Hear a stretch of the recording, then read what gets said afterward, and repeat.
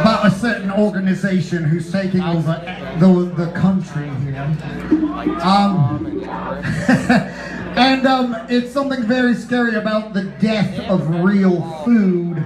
It's called Organic Funeral.